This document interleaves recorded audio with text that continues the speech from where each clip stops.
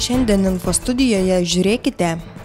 Šiaulių užros muziejaus saugyklose nuo visuomenės akių slėpėsi daugybė gražių radinių, tik menka dalis kol kas eksponuojama viešai. Saugaus eismo atributiką mieste dovanojo visų vaikų mylimas policijos bičiulis. Specialistai patarė būtent pavasarį išvalyti kailinius, tai galima padaryti ir namuose. Labas vakaras, su jumis sveikinasi penktadienio info studija. Kviečiu susipažinti su naujienomis. Šiaulių užros muziejus savo žinioje turi per ketvirtį milijonų eksponatų, bet visuomenė mato tik ketvirtadalį jų. Didžioji dalis guli saugyklose. Situacija turėtų pasikeisti steigus atviro fondo saugyklą, tačiau kol kas visas grožis lypi po devyniais užraktais. Šiaulių aušros muziejaus žinioje ketvirtis milijonų eksponatų, kuriuos muziejus surinko per beveik šimtą metų nuo įsikūrimo pradžios. Tai įvairūs medžio ir keramikos dirbiniai, paveikslai, archeologiniai radiniai. Tačiau visuomenė mato tik labai mažą dalį. Didžioji dalis guli saugyklose. Kad jų kiekiai yra tikrai dideli, ne tik daiktų, bet ir dokumentų, žemėlapių, nes eksponatų yra labai iš įvairių medžiagų ir jų yra tikrai daug.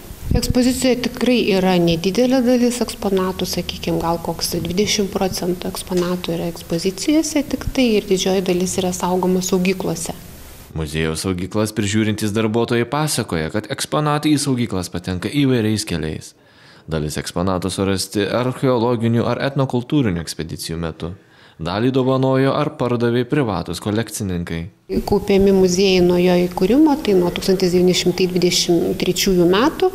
E, pirmieji eksponatai tai buvo etnografinių ekspedicijų e, padovanoti žmonių ir muziejininkai keliavo po apylinkės ir tuos eksponatus rinko. E, kita dalis eksponatų tai pačių žmonių dovanoti eksponatai. Situacija turėtų pasikeisti, kai bus restauruotos patalpos Ošros alėjoje. Ten muziejus planuoja įsteigti atviro fondo saugyklas, kuriuose muziejaus lankytojai galėtų pamatyti turimus eksponatus, gyvai susipažinti su muziejaus darbuotojų kasdienybė. Na, pastate bus ne tik ekspozicijos ir skirtos edukacinės sesijas, bet e, yra sugalvota ir atviros saugyklos. Ką tai reiškia? Tai reiškia, kad e, didžioji dalis dabar po uždaryti eksponatai bus perkelti tas erdves, bet to jie galės matyti ir pačio muziejininko darbą, nes tuose pačiuose saugyklose e, muziejaus darbuotojai ir tyrinėja, ir fotografuoja, ir atlieka labai daug dar darbų. Dabar apleistos patalpos kadaise buvo pirmieji aušros muziejaus namai. Prasidėjus karui teko iš ten kraustytis. Istorijos spiralė apsisuko ir muziejininkai juokauja, kad eksponatai vėl sugrįš į senuosius namus. Bet kol kas saugyklų durys užvertos nuo visuomenės akių. Atšvaitais lemenėmis bei išskirtiniais automobilių kvapukais aprūpinti visi šiauliečiai mieste susitikę su žymiuoju Lietuvos policijos bičiuliu Amsimi. Socialinė akcija skirta paminėti saugaus eismo dienai, tad praeiviai, vaikai ir vairuotojai skatami rūpintis tiek savimi, tiek keliuose esančiais dalyviais. Priminimais apie mandagumą ir saugumą keliuose dalinosi kelių policijos specialistės kartu su žymiuoju Lietuvos policijos bičiuliu Šuniuku Amsiumi. Pėstieji ir vaikai gavo patarimų apie atšvaitų svarbą ir jų naudojimą, o vairuotojams skrėjo raginamai rinktis saugų greitį keliuose. Pėstiesiams dovanosime atšvaitus, primindami jų dėvėjimo specifiką ir naudą. Dviratininkams kurie nedėvės lėmenių, mes juos perspėsime ir taip pat padovanosime lėmenę, kad būtų ryškus ir matomi kelyje. O vairuotojams padovanosime po atmintinę bei kvapukus automobiliams, tokius žaismingas ir smagius nesužvėrėk bei nepames galvos kelyje su Lietuvos policijos atributika, kad kiekvieną dieną vairuodami automobilį jie atkreiptų dėmesį ir prisimintų, kad būtų mandagus ir dėmesingi kelyje. Kelių policijos atstovė prideda, kad situacija Lietuvoje po truputį gerėja ir socialinių akcijų dėka žmonės tampa supratingesni. Požiūris gerėja, vairuotojai ir pėstieji po truputėlį darosi atsakingesni ir aš manau, kuo mes daugiau išeisime į gatves ir bendrausime su visuomenė, kasdien priminsime kelių eismo taisyklės, tuo e, eismo dalyviai bus atsakingesni ir dėmesingesni paskatinsime elgtis atsakingai tiek vairuotojus, tiek pėsčiuosius kelyje saugoti ir gerbti vieni kitus ir išsaugoti savo sveikatą ir gyvybę kelyje. Šviesti žmonės ir bendrauti su jais kelių policijos atstovams būtina, tad minint saugaus eismo dieną patarimais ir dovanomis aprūpintas kiekvienas sutiktas praeivis ar greta sustojęs automobilio vairuotojas. Didžioji Britanija viena didžiausių Lietuvos eksporto rinkų. Pernai ir šiemet eksporto skaičius į šią šalį stebėtini geras. Specialistai sako, kad taip yra dėl to, kad įmonės jaučia neapibrieštumą dėl galimo kietojo breksito. Visgi ekonomistai linkia manyti, kad einama link švelnesniojo breksito varianto. Tai šiuo metu, jeigu žiūrėti šių metų ir praėjusių metų Lietuvos eksporto skaičius į Britaniją, tiesą sakant, jie yra stebėtinai geri. Tarkim, praeitų metų paskutinį ketvirtį mūsų eksporto augimas į Britaniją buvo rekordinis, virš 8 procentų. Bet e, taip yra todėl, kad kai kurie segmentai, kaip tarkime E, transporto, sakykime, dalis, e, chemijos produktai. E, tie, į tos įmonės avansų įveža prekes į Didžiąją Britaniją, nes ruošiasi, sakykime, arba mato neapibrieštumus dėl tam tikro kietojo breksito. Taip kad nepaisant to, kad mes turime labai įspūdingą Lietuvos eksporto augimą į Britaniją, jis iš dalies yra tokio labai techninio pobūdžio, kurį lemia, sakykime, įmonių baimės. Iš kitos pusės tokie sektoriai kaip tekstilė, kaip mediena, jie priešingai gana stipriai krenta variantą, bet vėlgi labiau dėl psichologinio aspekto, nes įmonės taip pat bijo breksito ir tiesiog eina į kitas ES rinkas. O šiaip Didžioji Britanija yra tikrai be galo svarbi rinka Lietuvai, virš 6 procentų yra Britanijos svorios Lietuvos eksporto struktūroje, taip kad mums tie breksito aspektai, jie iš tikrųjų yra be galo svarbus, nes tai yra viena didžiausių Lietuvos eksporto rinkų. Kaip manote, kokia laukia ateitis? Sunku šiuo metu spėlioti, bet aš nujaučiu, kad mes vis dėlto einam link švelnesnio breksito varianto ir aš labai tikiuosi, kad kas liečia priekybos santykius, sakykime, to žaidimo taisyklės pasiliks daugiau mažiau tokias pat kaip šiuo metu, nes tai mūsų eksportuotėms ir Europos eksportuotėms būtų, na, ko gero esminės aspektas. Kailiniai gali tarnauti ne vienerius metus, tačiau kaip naujai jie atrodys tik tada, kai tinkam juos prižiūrėsime. Pavasarį prieš keliaujant į spintą, kailinius gaminius specialistai patarė būtinai išvalyti. Tai galima padaryti ir namuose. Šiepetys, specialus tirpalas ir drobinis maišas - viskas, ko reikia, kad kailiniai kitą sezoną atrodytų nepriekaištingai. Sakoma, rogės ruošk vasarą, o ratu žiemą šis posakis tinka kalbant ir apie kailinių priežiūrą. Kailių mito vadovas sako, kad pasibaigus sezonui kailinius būtina išvalyti dėl keleto priežasčių. Pavasaris tinkamiausias metas. Prieš e, kabinant į spintą, juos reikėtų išvalyti jos reikėtų išvalyti plauką, reikėtų iššukuoti jos, iš, iš, išdezinfekuoti, kadangi per visą žiemą vaikščiojant prisirenka dulkių, prisirenka truputėlį prakaito ir tai visą tai reikėtų išvalyti, kadangi į tuos eina ir kandis į juos eina nu, ir galų gale taip susinešioja stipriau žymiai kailiniai. Specialistų teigimu, kailinius ar kitus rūbus iš kailio galima išvalyti ir namų sąlygomis. E, tai reikėtų paimti švaraus vandens, atskiesti jį penktadalių degtinę arba spiritu ir su tuo tirpalu reikėtų kailinius tiesiog išpurkšti ir iššukuoti. E, tai reikėtų palaikyti paskui, dar kartą iššukuoti ir principė tada jau galima juos dėti į spintą.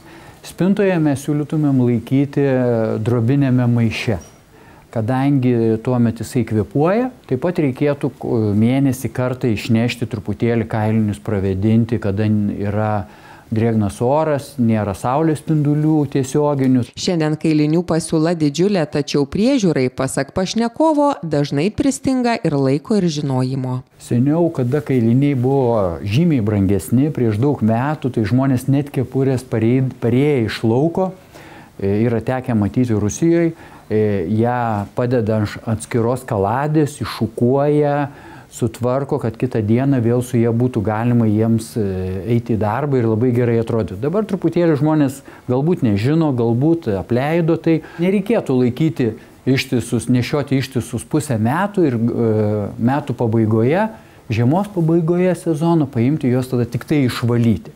Jos vis po truputėlį prasišukuoti reikėtų, reikėtų nešiojimo įgos metu. Tas pas kaip galva, ne vieną kartą metus jinai yra plaunama, taip reikėtų ir kailį.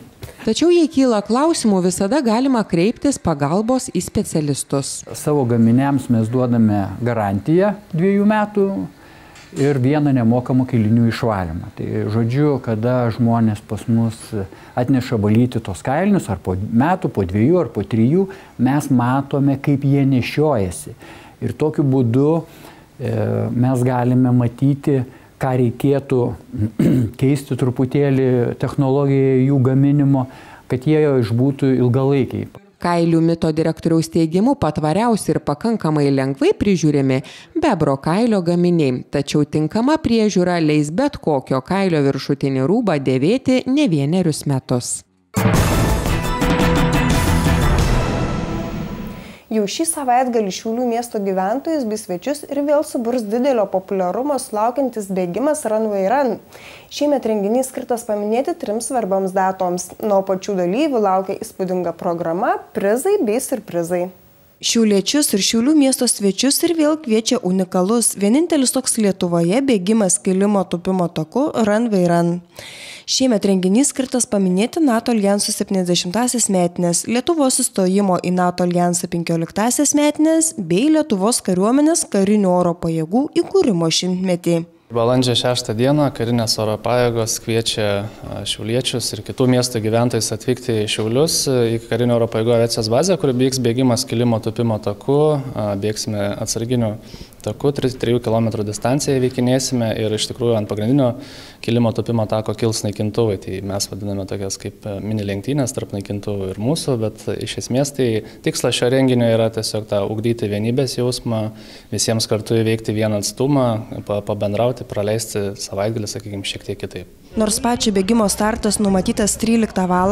visgi dalyviai veiklos turės ir gerokai anksčiau.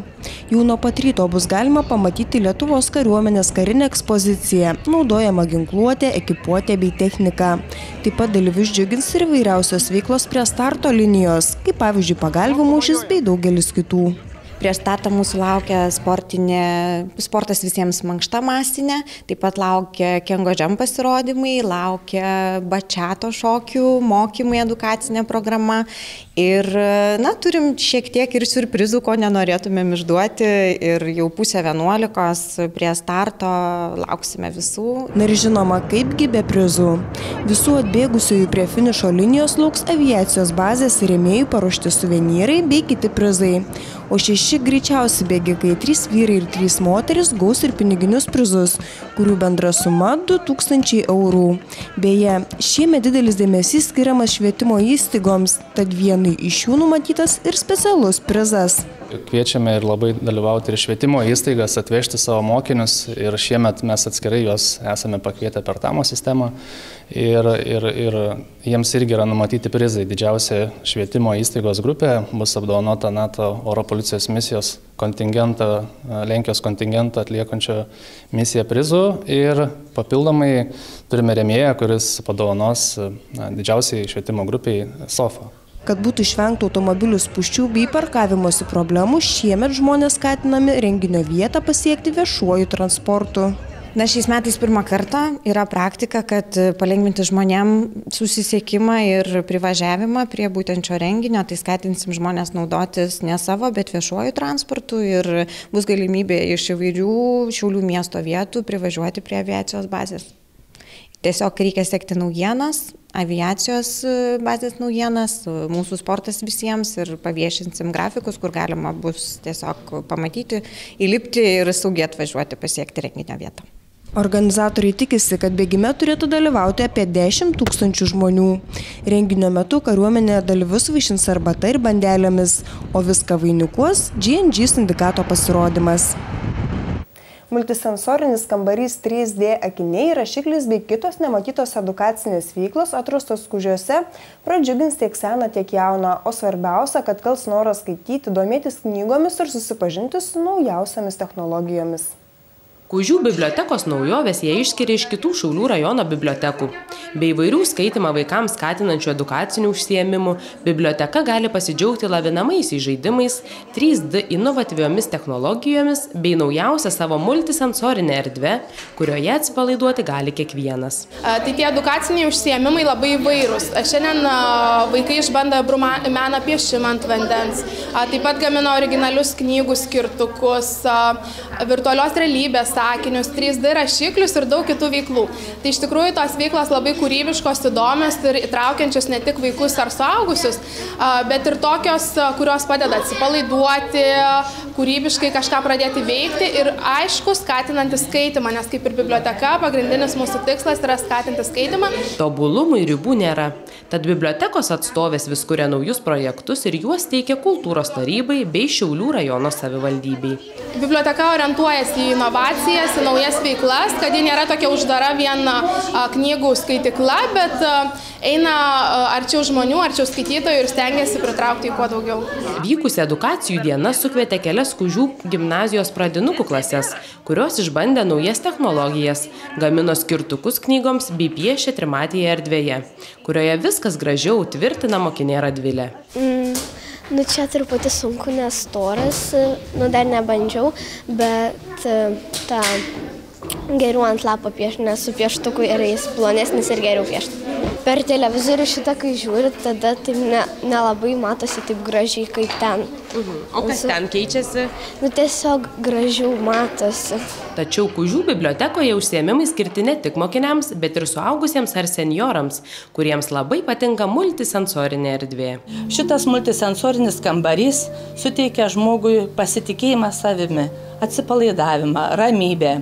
Kartais mūsų užmiršti senoliai neturi tokių paslaugų ir jos brangiai kainuoja, arba viskas galvojama tik apie vaikus ir jaunimą. Mes kviečiame vienišus, pagyvenusius, ir jie nori ateina. Žmonės jau spėjo apsilankyti multisensorinėme kambaryje, liko patenkinti ir nustebę. Tai sakė, neįtikėtina, ar tai čia kužiuose gali taip vykti.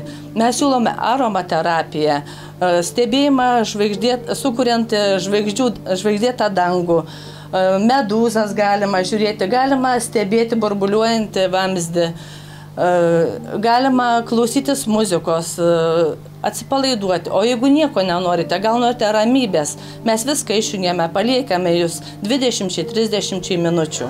Multisensorinis kambarys, edukacijos ir kiti skaitykloje esantis įrenginiai prieinami visiems. Reikalingas tik skaitytojo biletas. Tad Kužių bibliotekos darbuotojas vilėsi, jog inovatyvios priemonės paskatins norą skaityti. Juolab, kad Kužių biblioteka pripažinta netradicinė biblioteka 2018 už inovatyvę veiklą panaudojant informacinės technologijas ir netradicinės paslaugas kartu su tradicinėmis bibliotekos paslaugomis. Toliau sporto naujienos ir orų prognozė gražaus ir šilto jums savaitgalio. Iki pasimatymo.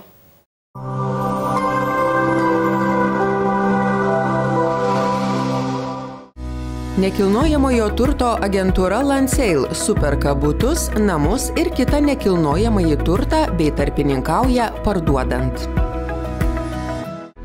Reikia taksi? Kviesk Neotaksi. Neotaksi 1453 arba 1456.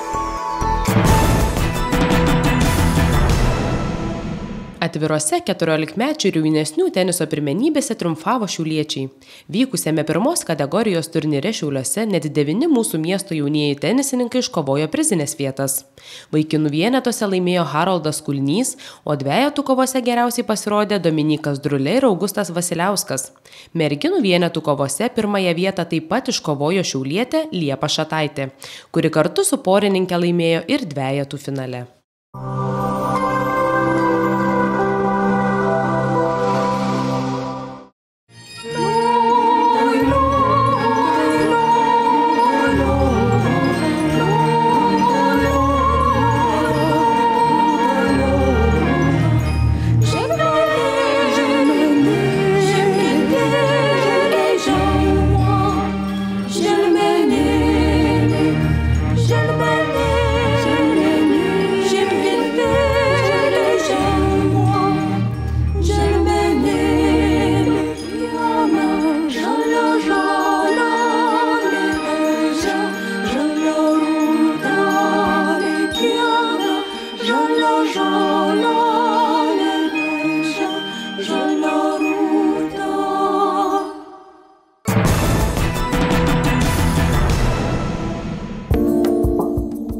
Savaitgalį išsilaikys panašus orai. Artimiausią naktį dangus bus giedras, nebus matyti nei menkiausio debesėlio. Temperatūra laikysis apie 2-4 laipsnius šilumos. Pūs 4-6 m per sekundę rytinių krypčių vėjas. Šeštadienio dieną temperatūra laikysis apie 10-12 laipsnių šilumos. Ir toliau laikysis giedri be kritulių orai. Pūs 4-6 m per sekundę rytų pietryčių krypčių vėjas. Naktį šeštadienį į sekmadienį danguje jau bus galima išvysti ir vieną kitą debesėlį, tačiau kritulių sulaukti neturėtume. Temperatūra laikysis apie 5-7 laipsnių šilumos. Pūs tas pats vidutinio stiprumo pietryčių krypties vėjas. Sekmadienio dieną švies saulė, tačiau kartkartėmis sulauksime ir debesų. Kritulių nenumatoma, vyraus 9-11 laipsnių temperatūra ir išsilaikys pietryčių krypties vėjas.